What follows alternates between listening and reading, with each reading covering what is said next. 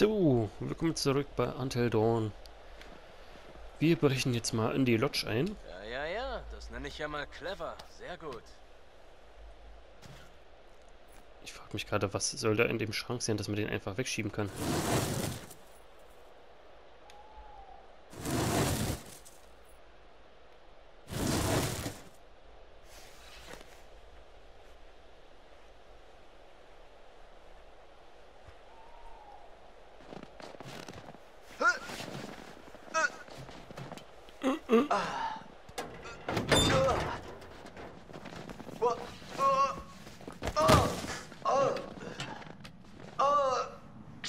Alles okay? Hätte ich in der Kletterstunde mal besser aufgepasst. Du meinst Sport? Ja, da, wo man das Seil hoch muss. Oh. Äh, war ich das? Ich glaub nicht. Hier, nimm das.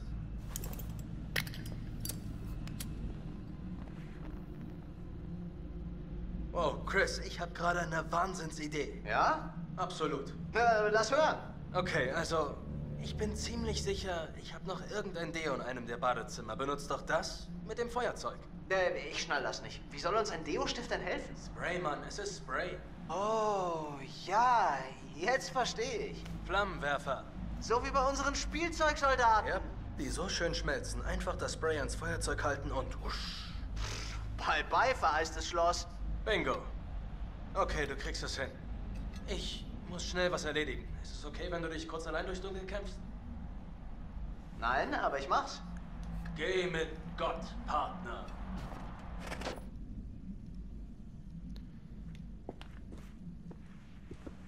Was sind denn das für Fenster, wenn man da die einfach mal so aufmachen kann? Von wegen alles verschlossen. Kann jeder Arsch rein.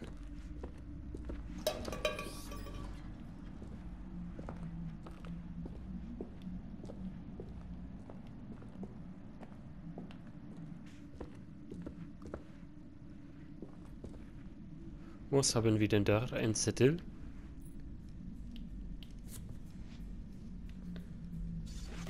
So, was haben wir denn? Nein, oh, verdammt, ich wollte doch... Oh, dass man das so halten muss, nervt mich.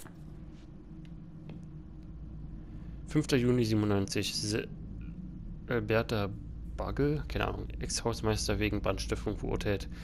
Rauch Racheschwur gegen Familie des Filmmoguls von Charlie Scott, leitender Reporter. Victor Milgren, von dem auch der, äh, der Steckbrief ist, ne? 52 wurde gestern wegen schwerer Brandstiftung in Blackwood Pines zu 16 Jahren Gefängnis verurteilt. Milgram war 28 Jahre lang als Hausmeister in dem alten Berghotel eingestellt gewesen. Er wurde jedoch entlassen, als Hollywood-Produzent Bob Washington das Anwesen kaufte. Aha. Die Urteilsverkündung endete mit einem äh, aufsehenserregenden Zwischenfall. Der wütende Milgram beschimpfte Washingtons hochschwangere Frau Melinda lautstark mit wüsten Obszönitäten. Er nannte sie eine dreckige Hu, Punkt, Punkt, Punkt, und schwor euch allen, äh, schwor euch alle deinen Bisch, Punkt, Punkt, Punkt, Mann und eure Kinder dazu kriegen. Weiterhin drohte er, sie läden zu lassen. Okay.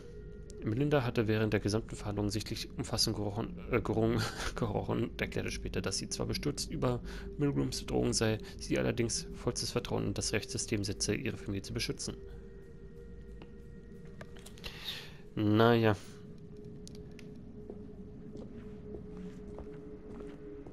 Aber ich glaube, das wird uns oder soll uns absichtlich auf eine falsche Fährte führen.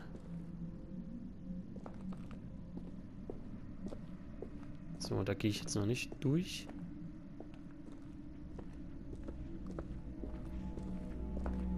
Was haben wir da? Auch wieder ein Totem, oder? Ja.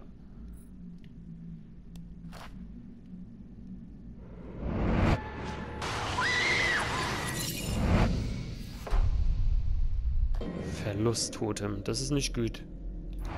Irgendwer hat gebrannt. Das könnte M sein. Frage ist...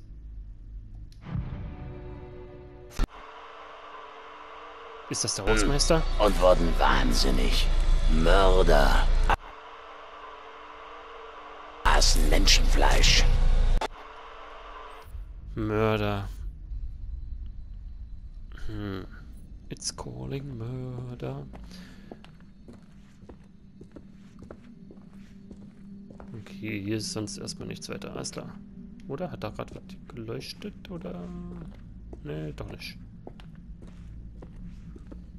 Jetzt ist die Frage, kam das Feuer durch eventuell ähm, den Kamin? Ist der Brandstifter hier unterwegs? Oder kommt es unter, durch unser Deo-Ding? Wobei M ja gar nicht zu sehen war. Bisher. Vor der Butze. Was aber nichts heißen muss.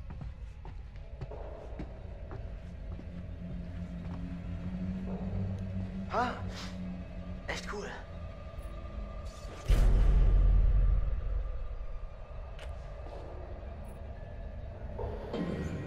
Ein Hinweis.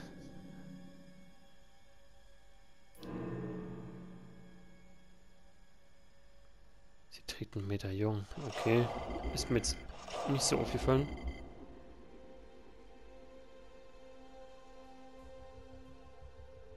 Tapferkeit sinkt ja immer mehr, Alter. Hatten wir nicht noch was? Ach so, der Unbekannte.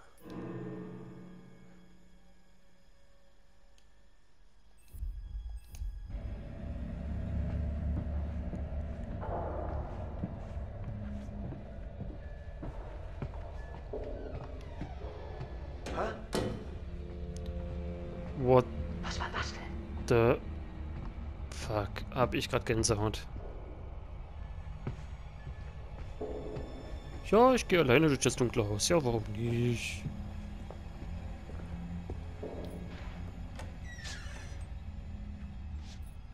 Beziehungsweise es ist ja eigentlich ein Ex-Hotel.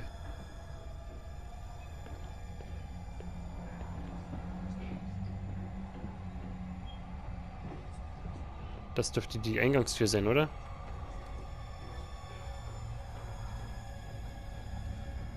Hello, Ladies. Hi Chris, wirklich witzig. Da, woran habt ihr mich erkannt? Solltest du nicht mal das Schloss öffnen oder sowas? Okay. Okay, Chris finde ich eigentlich auch ganz cool. Irgendwas höre ich doch die ganze Zeit. Hier ist der Fernseher oder sowas an.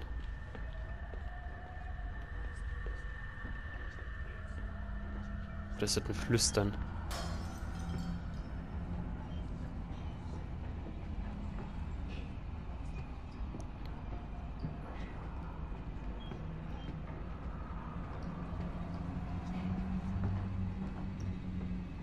Was ist denn das für eine Riesenbutze? Na gut, wenn ein Hotel ist, ist es klar. Oder Hotel war.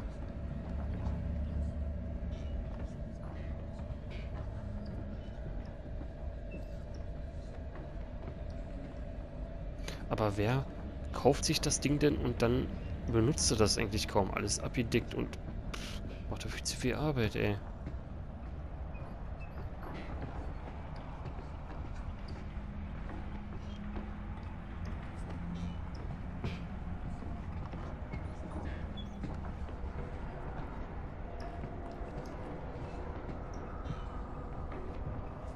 Würde jetzt ungern eine Tür gerade öffnen und ich weiß auch nicht. Hat er, hat er nicht gesagt Bade. Äh, ein Badezimmer, aber nicht welches, oder? Ach so, jetzt sind wir wieder hier. Okay.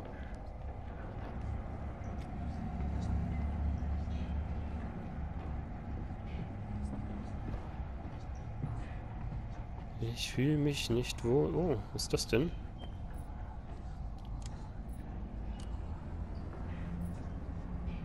Der geht nicht?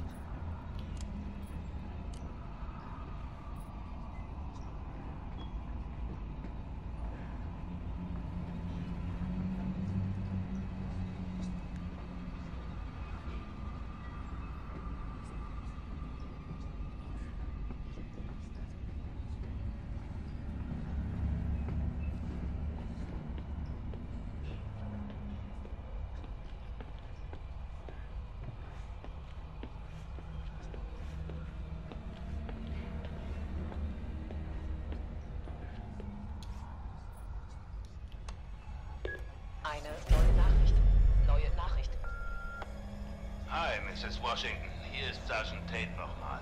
Ich fürchte, ich habe schlechte Neuigkeiten. Wir haben die Fallakten durchgesehen und man kann da nichts tun. Er ist ein freier Mann. Wir können seine Bewegungsfreiheit nicht einschränken. Ich weiß, das ist nicht, was Sie hören wollten. Rufen Sie mich an, wenn Sie mehr wissen wollen. Ende der Nachrichten. Okay. Also scheinen die ja doch normalerweise da zu wohnen. Geh ins Bad. Ja. Und die sind im Winter immer weg, oder was?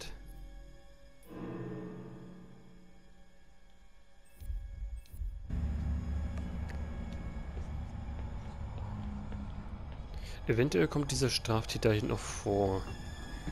Aber ich glaube nicht, dass es der Typ war mit dem Feuerding. Flammenwerfer? Wahrscheinlich ein Flammenwerfer.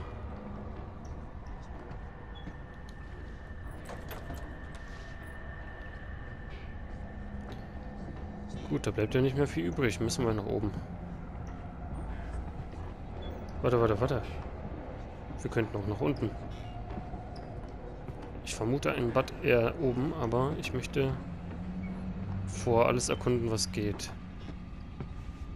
Gerade wegen dieser Thematik, dass man nicht weiß, ob man dann irgendwas verpasst.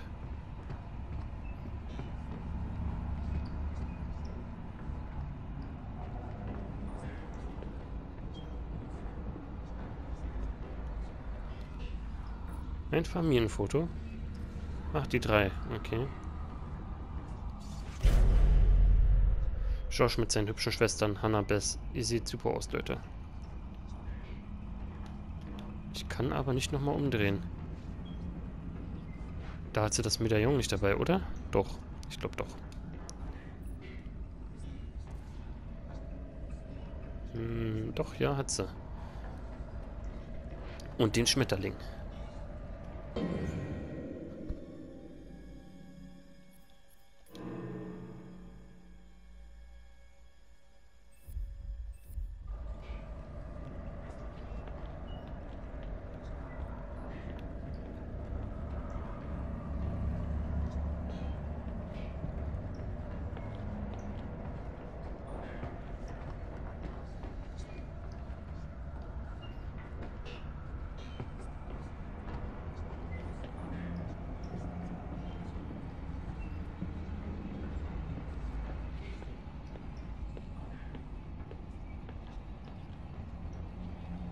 Okay, hier kann ich gar nicht mit interagieren. So wie es aussieht. Eine komische Tür.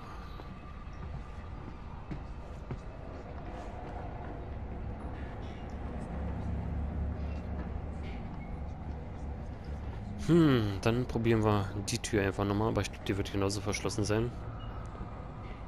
Cinema Room.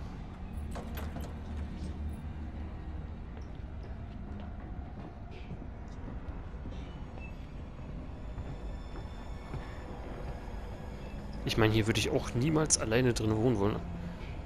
Man hört jetzt die ganze Zeit den Sturm da draußen. Überall knarzt es. Mag ich nicht.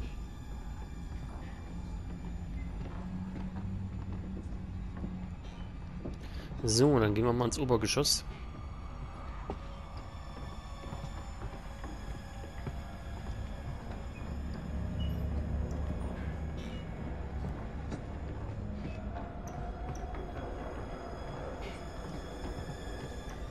Ich frage mich bloß, warum man den Hausmeister feuert, wenn man das Ding hier kauft. Man braucht doch jemanden, der das instand hält. Ja, mach doch mal zu.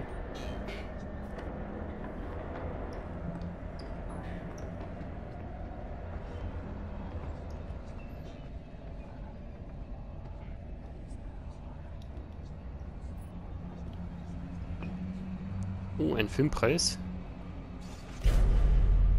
Bester Horrorfilm.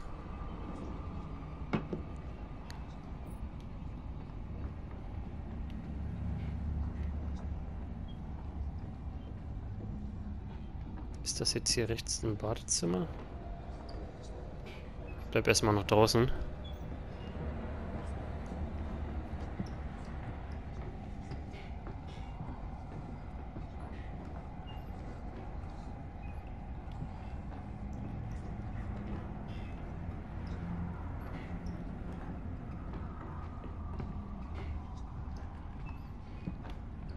Warte mal, ey. Hier ist gar nichts weiter. Ach, bloß wieder eine...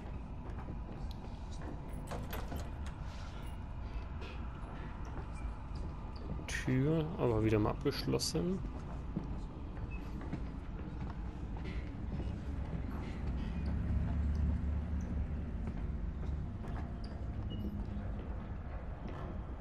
Ich nehme mal an, der offene Gang, wo wir noch durch können gleich, wird zu den Zimmern führen.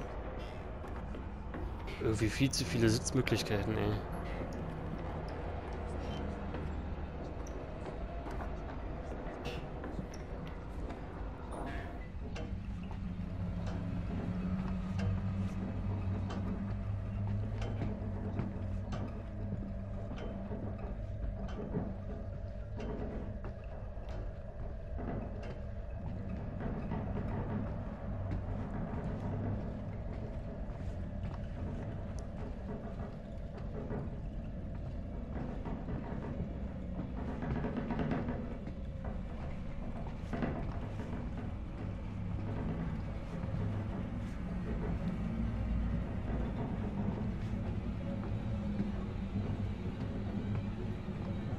Ich will da gar nicht rein, ey.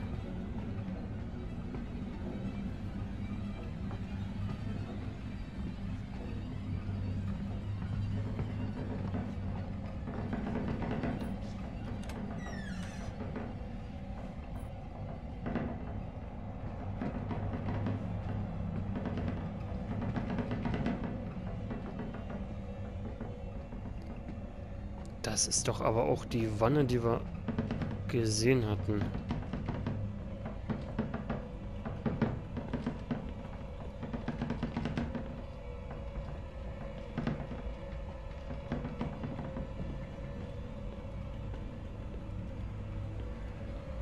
Warum ist es auf einmal ruhig?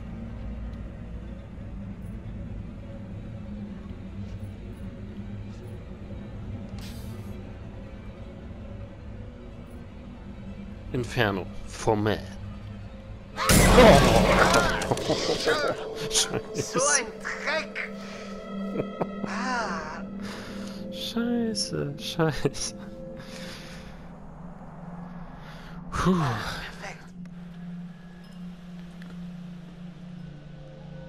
Wir frieren doch hier draußen.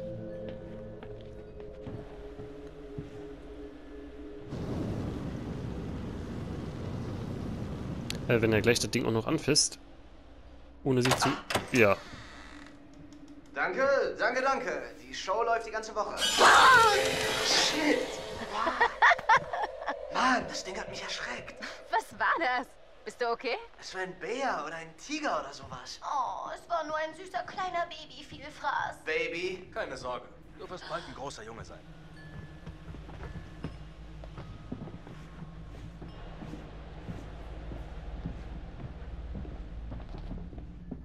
Home sweet home. So würde ich das nicht ausdrücken. Oh mein Gott, es tut so gut drin zu sein. Auch wenn es hier irgendwie ziemlich eisig ist. Ich mach mal Feuer an. Hier hat sich ja kaum was verändert. Es war niemand hier oben. War nicht die Polizei ständig hier? N na, in letzter Zeit war ja nicht viel los. Oh. Was geht, Party People? Hey! Hey!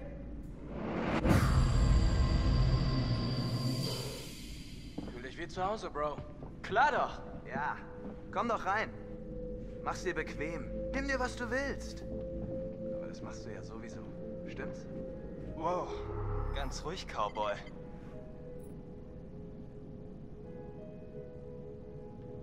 Hm, herausfordern würde ich, glaube ich.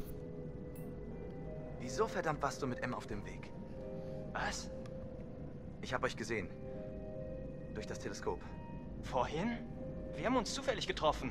War eine Weile her, deshalb haben wir uns umarmt. Ist das verboten?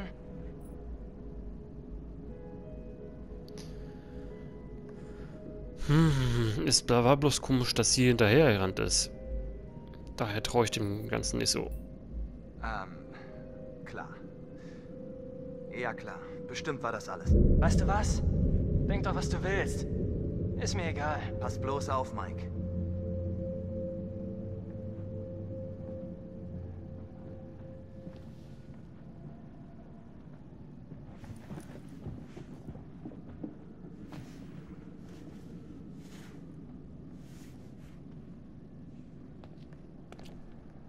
Oh mein Gott, das ist so eklig. Hast du vor, sein Gesicht aufzufressen? Ähm. Im Ernst jetzt, durchschaubarer geht's ja bald nicht mehr. Niemand will dir dein Revier streitig machen, Schätzchen. Entschuldige bitte. Hast du was gesagt? Oh, hast du mich nicht gehört? War deine Flittchenshow zu laut? Da ist wohl jemand verbittert, weil sie nicht landen konnte. Ja, ist ja auch wie beim Viehmarkt bei deinem Traumtypen. Glückwunsch zur schönsten Kuh. Nein, wie kreativ. Nennt Miss Homecoming eine Kuh.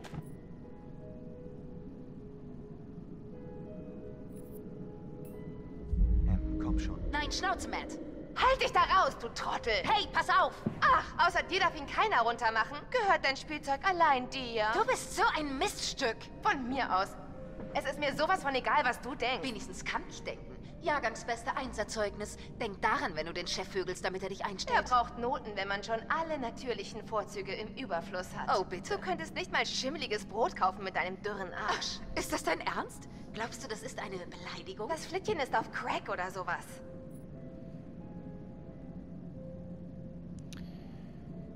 Äh, ich würde immer noch entschärfen. Emily, stopp! Das geht echt zu weit. Es gibt keinen Grund, sich so aufzuführen. Ja, ähm, warum streitest du dich um deinen Ex-Lover? Hm? Hört auf! Das ist nicht der Grund für unser Treffen. Das hilft uns nicht. Das ist nicht, was ich wollte. Okay, ehe wir uns nach zehn Minuten schon umbringen, brauchen wir vielleicht eine Pause, oder? Mike, sieh dir doch mal die Gästhütte an, von der ich dir erzählt habe. Ja, ja, okay. Willst du mitkommen? Hauptsache weg von dieser Hure. Sie liegt ein Stück den Weg hoch.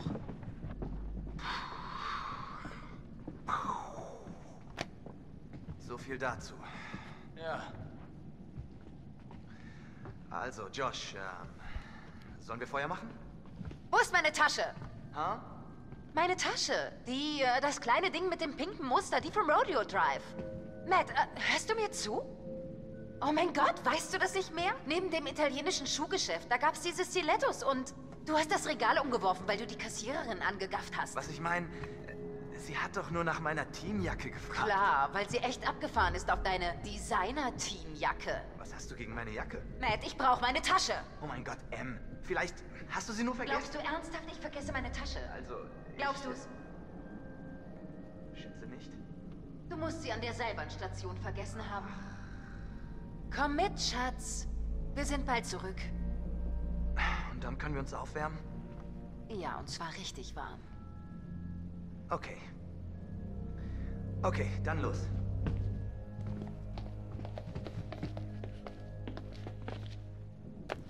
Okay, ich nehme jetzt ein Bad.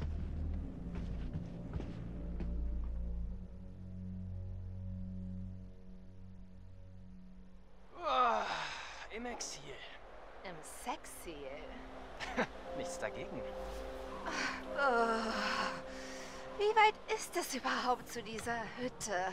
Diese Hütte ist das gemütlichste und romantischste Liebesnest, das du je sehen wirst. Falls wir jemals ankommen. Ich glaube, das Glück ist heute auf unserer Seite. Mach alles richtig, vielleicht wirst du dann noch glücklicher. Hey, Pornostars! Ihr braucht den hier. Pornostar? Ich würde es mir ansehen. Äh, Git. Sorry für den kleinen Rausschmiss. Ist okay, Mann. Oh, ich bin sicher, ihr vertreibt euch die Zeit schon irgendwie. Mhm. Dir viel Spaß auf den billigen Plätzen. Oh, fast vergessen. Ihr müsst den Generator anwerfen, damit ihr seht, wo ihr hingeht. Ist dunkel da draußen. Okay, verstanden. Ich glaube, Josh hat mit mir geflirtet. Okay. Willst du fragen, ob er mitkommen will? Was, wirklich? Was? Nein.